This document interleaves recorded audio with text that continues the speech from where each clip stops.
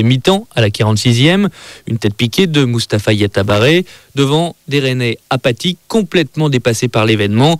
Le défenseur central rennais, Jean-Armel Canabiic, était très critique vis-à-vis de la prestation de ses coéquipiers. Si vraiment on avait de l'orgueil, on aurait pris le match autrement. Je pense qu'on n'est pas tous faits pour jouer des grands matchs. Il y en a qui découvrent